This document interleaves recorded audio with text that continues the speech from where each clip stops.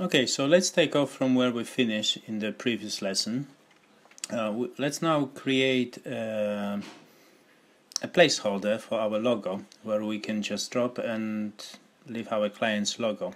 We'll start from a rectangular placeholder and once we make the whole animation we'll simply modify it to square and round placeholders. This way we'll save ourselves some time and work. Okay, we'll make it half the size of the screen by simply dividing the main comp by 2 while keeping the aspect ratio. Now we'll need to create our lines. As I said, we'll do a lot of copying and pasting because we'll create one solid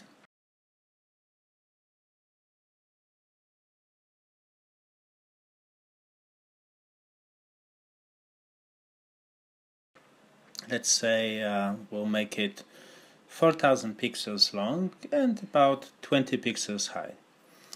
And let's make it red so it's easily visible on black or transparent background.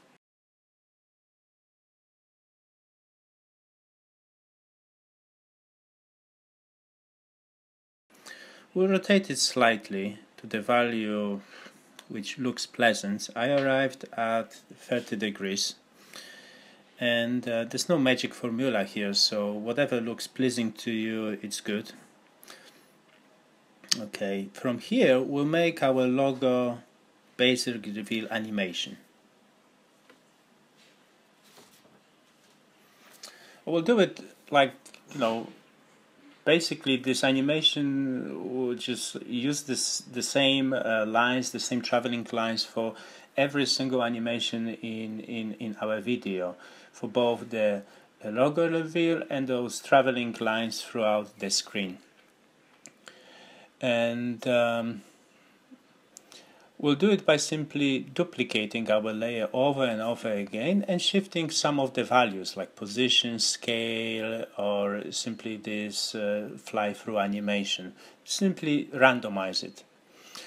Okay, we'll have to make our fly-through animation. So this we won't uh, move the layer itself, which is it will be simply too difficult as each line moving each line separately and creating millions of keyframes.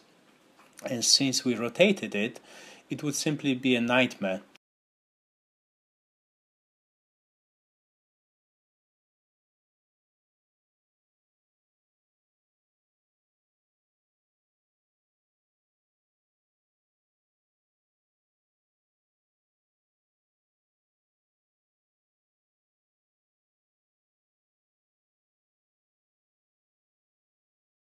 Instead we will create a mask like this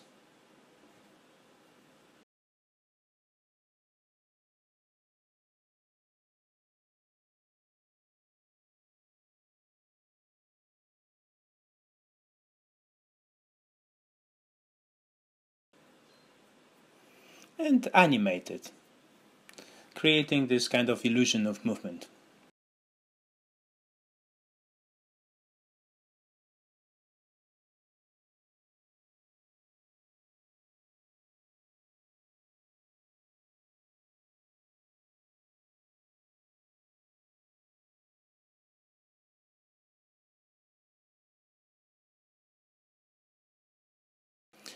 And uh, later on we'll simply change the position of duplicates and vary the keyframes uh, like like move them in time or simply uh, move the, uh, the layer itself in timeline.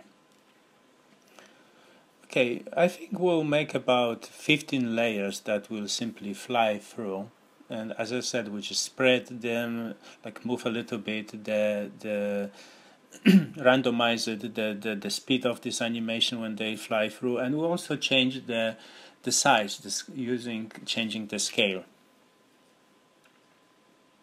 Okay once we have this uh, we'll also make uh, those we duplicate those lines and this time we'll change the animation so they will just cover the whole screen. Like multiplying them and instead of like making them fly through they will arrive at some point and stay there okay I just skip this part because it's very time consuming Okay, once we have this, now we, as we can see, we have about what? How many? 76 lines, and uh, some of them simply fly through. So it's a good idea to cut them, and I think this is line 62 towards line 76 when they simply fly through and disappear. So we'll move our playhead to around 2 seconds and 10 frames and and we cut them here so they won't have to compute during the render process and simply save some time when rendering.